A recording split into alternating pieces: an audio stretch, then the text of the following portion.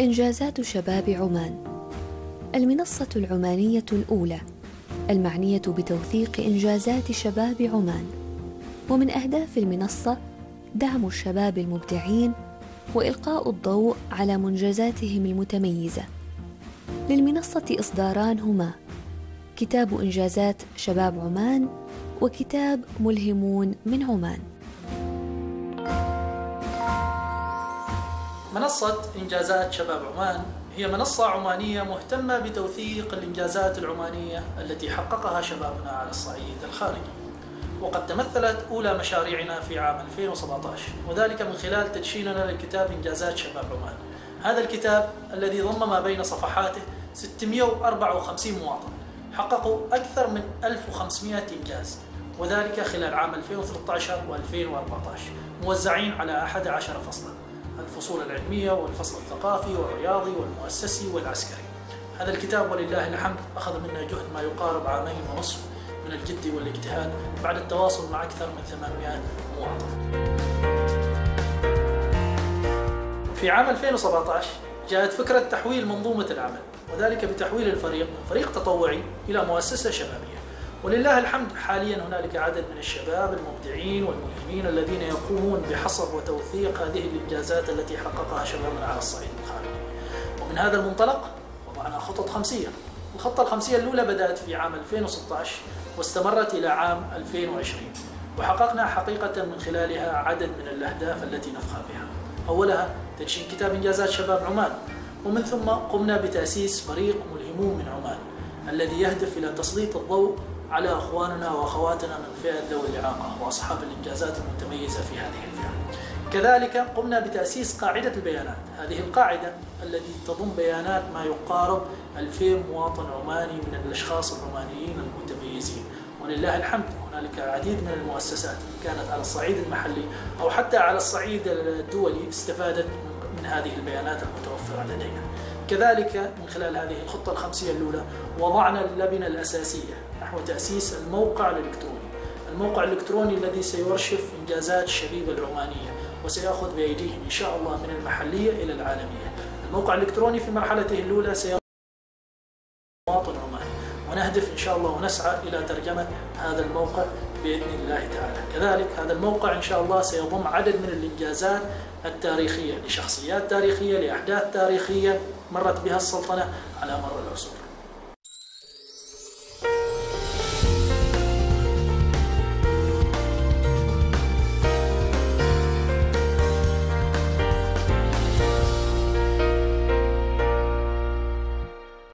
فريق ملهمون من عمان.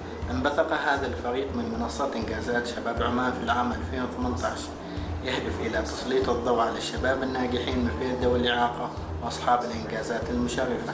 إلهام المجتمع العماني بقصص ذوي الإعاقة وأبرز تحدياتهم ونجاحاتهم. تأسيس منصة إلكترونية تعنى بقصص الأشخاص المنجزين من فئة ذوي الإعاقة. رؤيتنا أن نكون المنصة الأولى والمرجع الأساسي لإلهام المجتمع العماني بقصص ذوي الإعاقة. رسالتنا نسعى إلى توثيق إنجازات الشباب العماني من فئة ذوي الإعاقة وإلهام المجتمع بقصصهم وصناعة قدوات ملهمة في المجتمع العماني.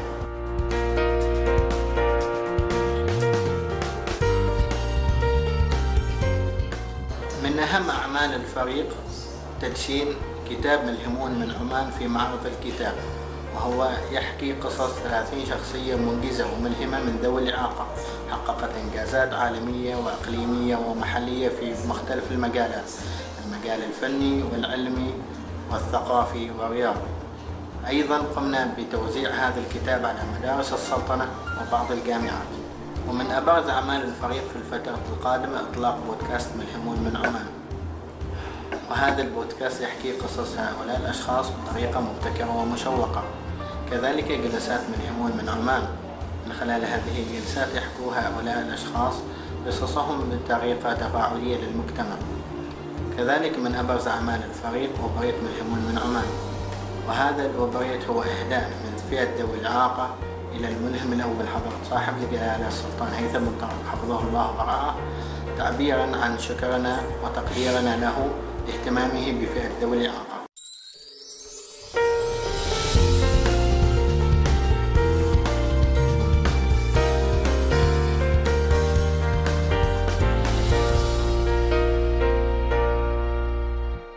نهدف إن شاء الله من خلال هذه الخطة إلى تدشين إصدارين من كتاب إنجازات شباب عمان إضافة إلى تدشين إصدارين من كتاب والهموم من عمان ونسعى كذلك إلى تدشين الموقع الإلكتروني.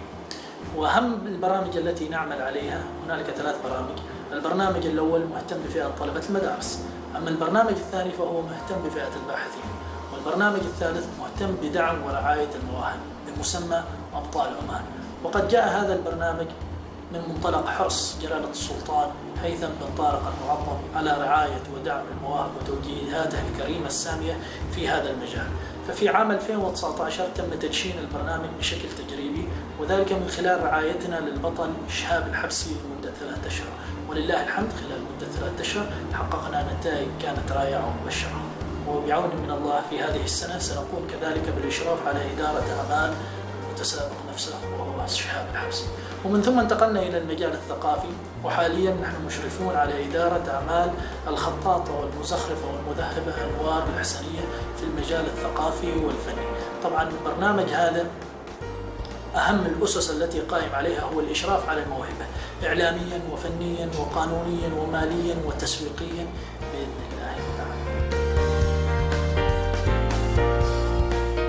نهدف من خلال هذه المنصة إلى حصر وتوثيق الإنجازات للأجيال القادمة بصورة مشرفة حيث قمنا ولله الحمد بتوثيق أكثر من 3500 إنجاز خارجي.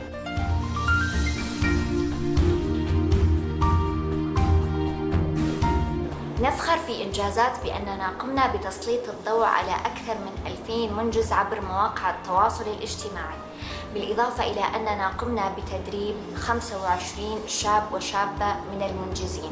ونفخر أيضا بمساهمتنا لنشر المعرفة لطلاب المدارس من خلال توزيع كتاب إنجازات شباب عمان على جميع مدارس السلطنة.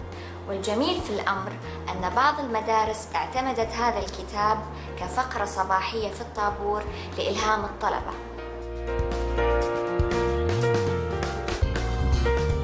منصة إنجازات عمان جاءت من الشباب ولأجل الشباب. ونفخر بأننا على مدار ست سنوات قمنا بتوثيق هذه الإنجازات المشرفة بعد أكثر من ستين ألف ساعة عمل من أجل عمان وشباب عمان. ولا زلنا في بداية المشوار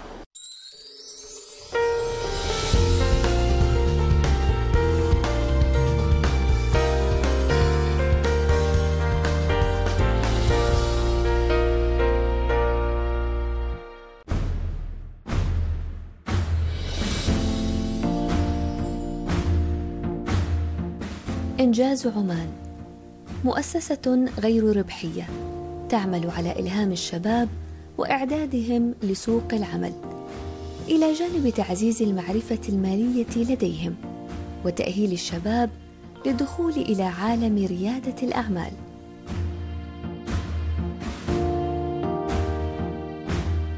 إنجاز عمان هي مؤسسة غير ربحية تسعى لتمكين الشباب وإعدادهم الإعداد الأمثل لدخول سوق العمل بثقة من خلال حزمة من البرامج التفاعلية اللي نقدمها لطلبة المدارس والكليات والجامعات بالإضافة إلى برامج تم استحداثها مؤخرا للشباب الباحثين عن عمل. الفكرة هي أنه نكسبهم المهارات اللازمة لدخول سوق العمل بثقة. إنجاز هي أيضا جزء من مؤسسة عالمية اسمها Junior Achievements Worldwide. تم تصنيفها كمؤسسة رائدة تعليميا من قبل جامعة هارفارد. هي تعمل في أكثر من 120 دولة حول العالم وأكثر من 10 ملايين شاب وشابة يستفيدون من برامجها بشكل سنوي. البرامج في إنجاز عمان تندرج تحت ثلاث مجالات رئيسية اللي هو مجال ريادة الأعمال، الثقافة المالية والجاهزية لسوق العمل. طبعا يتم اختيار البرامج في كل عام دراسي على دراسة نقوم فيها. الدراسة هذه طبعا تحدد البرامج اللي يحتاجها السوق العماني ويحتاجوها الطلاب سواء كانوا في مقاعد المدرسة أو في الجامعات. طبعا من بعد ما يتم اختيار البرامج هذه يتم تطبيقها من خلال متطوعين من القطاع الخاص. طبعا المتطوعين هذه يتم تدريبهم على كيفية تقديم البرامج هذه. فالحمد لله استطعنا خلال السنوات الماضية تقديم أكثر من 15 برنامج متنوعة في المجالات الثلاثة هذه. برنامج الشركة هو من أهم وأبرز برامج إنجاز عمان. البرنامج هذا يتيح للطلبة المشاركين الفرصة لتأسيس شركات حقيقية. آه، البرنامج يبتدي بفكرة آه، ومن ثم الفكرة هذه تتطور خلال مراحل آه، البرنامج إلى منتج أو خدمة ومن ثم يتم بيع هذا المنتج إلى أن يصل المرحلة النهائية وهي مرحلة المسابقة. خلال هذه الفترة يتم التعاون مع متطوعين من القطاع الخاص والفكرة هنا أنه آه، ننقل آه، المادة التعليمية للطلبة بالإضافة إلى التجربة العملية للعمل في القطاع الخاص. فعلى نهاية البرنامج آه، الطلبة يدخلوا في مسابقة وأفضل شركة طلابية تتنافس على المستوى الإقليمي وتمثل السلطنة فيها. إحنا سعداء وفخورين جدا بما تم انجازه آه، خلال الثلاث سنوات الماضية. الشركات الطلابية الممثلة للسلطنة كانت تفوز بأفضل شركة طلابية على مستوى الوطن العربي لثلاث آه، سنوات على التوالي.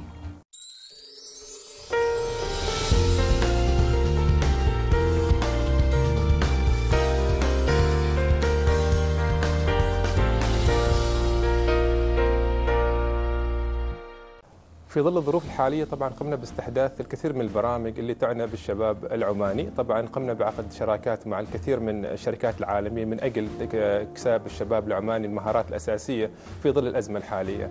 طبعا من أهم البرامج ومن أهم الشراكات اللي أكيد نفخر فيها اليوم نحن في إنجاز عمان اللي هي علاقتنا مع شركة جوجل العالمية في آه، من أجل تقديم برنامج آه، مهارات من جوجل. البرنامج طبعا يعتبر الأضخم والأكبر في مجال التسويق آه، عبر في الوطن العربي.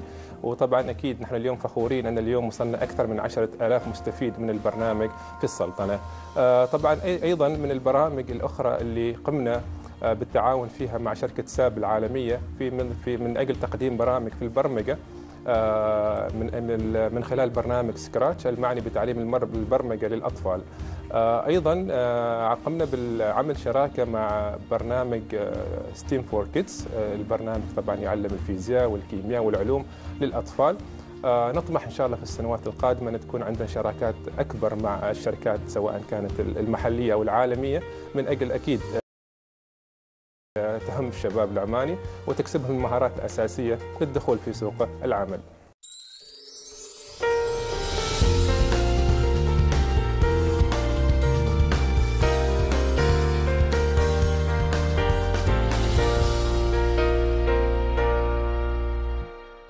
شهدت المؤسسة نقلة نوعية خلال الخمس سنوات الماضية وعلى الرغم من التحديات والصعوبات اللي واجهتنا بسبب أزمة كورونا إلا أنه قدرنا نوصل لعدد أكبر من الطلبة مختلف آه، محافظات السلطنة.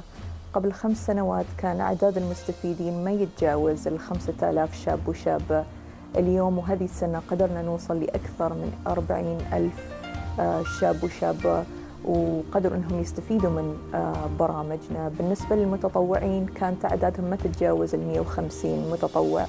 اليوم العدد هذا يتجاوز ال 500 متطوع من العاملين في القطاع الخاص. بالنسبة للبرامج هي أيضا يعني زادت. أول ما كنا نقدم أو كنا نقدم في حدود الأربع برامج اليوم صرنا نقدم أكثر من 15 آه، برنامج في مجالات آه، مختلفة. أما بالنسبة لبرنامج الشركة فقدر هذا البرنامج أنه يسهم في خلق أكثر من 350 فرصة عمل للشباب بالإضافة إلى أنه أكثر من 84 شركة طلابية أصبحت مسجلة وقائمة في سوق العمل. إحنا جدا فخورين وسعداء باللي تم تحقيقه في السنوات الماضية وأيضا نطمح ونسعى لتقديم الأفضل في الفترات القادمة بإذن الله.